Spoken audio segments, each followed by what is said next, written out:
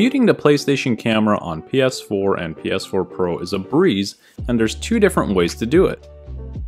From your home screen, press up on your controller to navigate up to the function area. Scroll to settings, which is the second to last icon on the right hand side and press X on your controller.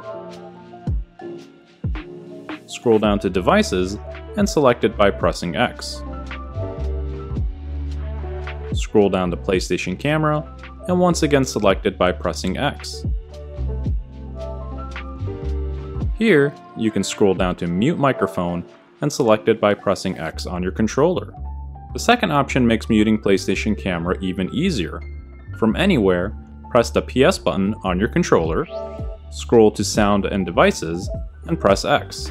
Note, its position may be different for you. Go down to mute microphone for PlayStation camera and press X.